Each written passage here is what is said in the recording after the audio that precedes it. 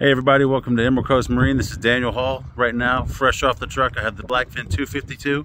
This one is a little bit unique because we all knew V10 400 horsepower instead of the twin engine application. Extremely quiet. This has the Ultra Seal Savannah interior. Nice spacious seat back here. Time to go fish. Twin in floor insulated macerated fish boxes.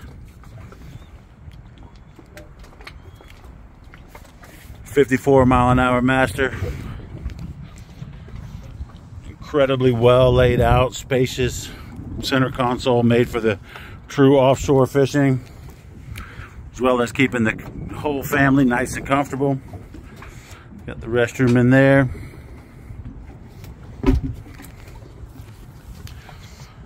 Twin USB chargers, 12 volts, and no matter where you sit, you can keep all the memories being made.